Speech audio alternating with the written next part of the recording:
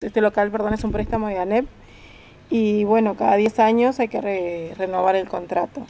Se renovó el contrato, pero eh, hay que hacer arreglos porque como que años atrás mucho eso no se puso en, querer en controlar y, ver que se podía arreglar. Entonces esta comisión está tratando ahora lo posible de poder arreglar el local porque si no estamos con un pie adentro y otro afuera. ¿Qué deficiencias has encontrado en el local, Jan? Eh, hay mucha herida por el tema de la humedad y después deterioro por ruptura.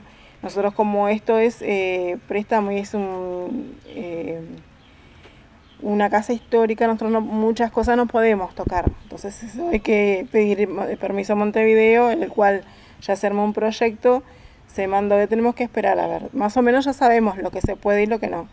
Nosotros vamos a poner material y el ZUNCA va a poner la mano de obra. ¿Cuál es la pretensión? ¿Qué es lo que se busca, Lilian? ¿Qué es lo que se busca? Que la asociación aquí en Salto sea un poco más, este, que haya más inclusión, que sea más vista en la ciudad, porque como que estaba muy apagada y muy escondida.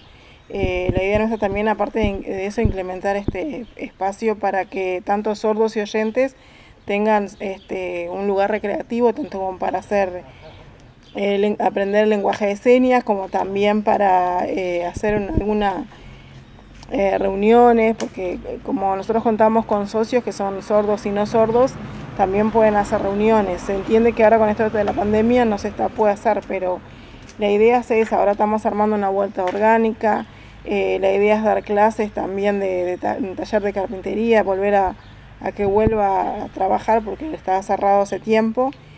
Y la idea es esa, que las, al menos que Salto que conozca que sea más visto en la ciudad.